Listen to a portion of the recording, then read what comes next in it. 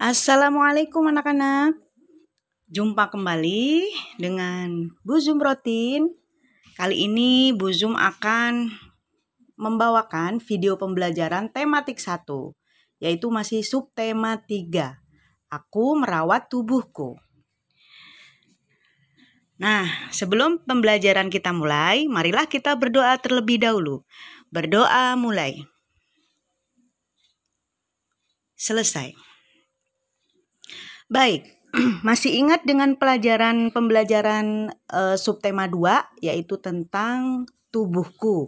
Kalian waktu itu diperkenalkan bagaimana uh, apa namanya panca indera, apa itu tangan, apa itu. Nah, sekarang kita akan belajar bagaimana merawat tubuh supaya sehat. Ya, perhatikanlah Udin dan kawan-kawan tubuh harus dirawat agar sehat. Mereka menjaga kebersihan tubuh. Tubuh yang sehat membuat mereka semangat. Tubuh yang sakit membuat mereka lemah. Merawat tubuh itu merupakan tanda syukur kepada Allah. Marilah kita perhatikan kegiatan Udin dan kawan-kawan bagaimana merawat tubuh mereka. Baik, perhatikanlah gambar berikut. Ini adalah gambar Udin. Dia habis uh, membuat karya mewarnai teman-teman. Lihatlah tangan Udin kotor sekali. Nah, pada waktu jam istirahat, Udin ingin jajan teman-teman. Tapi sama Siti diingatkan, Hai Udin, uh, kamu jangan langsung jajan. Apa yang harus kamu lakukan? Ayo, katanya Siti begitu. Nah, Udin baru ingat, ternyata uh, apa namanya? Udin kelupaan, belum mencuci tangan dan kaki. Nah, setelah itu uh, apa namanya? Udin membersihkan tangannya dari kotoran-kotoran bekas mewarnai. Nah, itu adalah cara Udin dan teman-teman untuk merawat tubuhnya ya yaitu pertama dengan mencuci tangan dan kaki. Yang kedua, menjaga tubuh saat duduk dan menulis. Nah, ini juga cara Udin dan kawan-kawan untuk merawat tubuh supaya sehat anak-anak. Ya, perhatikan posisi duduk mereka. Perhatikan posisi duduk mereka. Bagaimana menurut kalian teman-teman?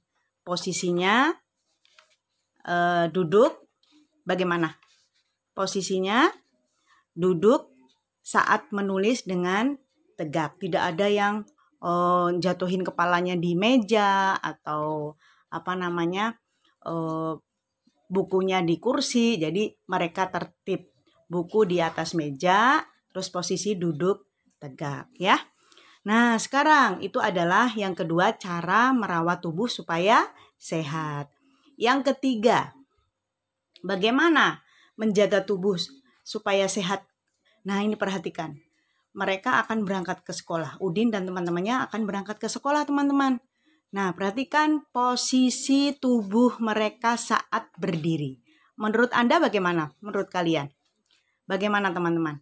Nah, mereka berdiri tegap dan seimbang, ya.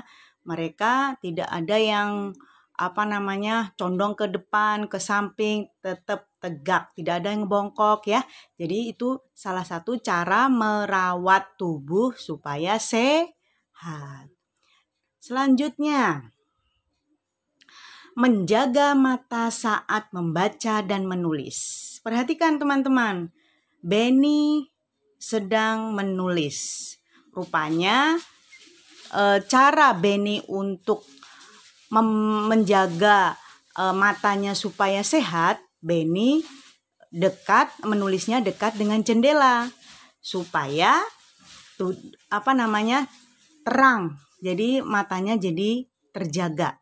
Jadi tidak meraba-raba ya teman-teman. Dan dari situlah mata menjadi se sehat. Jadi apa yang diperlukan ketika membaca dan menulis pencahayaan yang terang, yaitu duduk di tempat yang terang. Nggak boleh gelap, gelap ya. Nah, sekarang apalagi bagaimana cara merawat tubuh uh, supaya sehat? Merawat tubuh supaya sehat yaitu mandi dengan teratur. Berapa kali anak-anak mandi sehari? Dua kali ya, pagi dan sore. Yang kedua, jangan lupa ketika mandi kita keramas. Keramasnya pakai apa, teman-teman? Sam, sampo, ya. Nah, yang ketiga, menggosok gigi.